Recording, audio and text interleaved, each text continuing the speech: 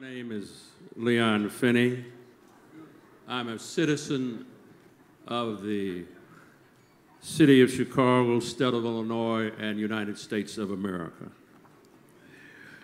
We are here today to express our right as citizens to urge an affirmative vote by the Park District and every other body to support the Obama Library for the city of Chicago.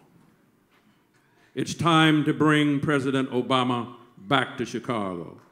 It's time to say yes to the plan to build the Obama Library in Chicago.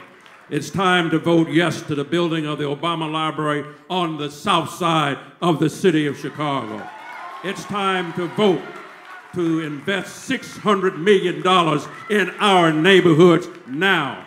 It's time to vote yes to attracting 800,000 visitors every year. It's time to vote yes to those who will spend money in our neighborhoods. It's time to vote yes to the creation of 5,000 jobs for our people. It's time to create new businesses for our black women and our black men. It's time to say yes to rebuilding our neighborhood. It's time to say yes, Mr. President. We want you to bring it on home. We came to win it. We came to get this library for the city of Chicago, for the south side of the city of Chicago, for Woodlawn, for Jackson Park, for Washington Park. Bring it on home.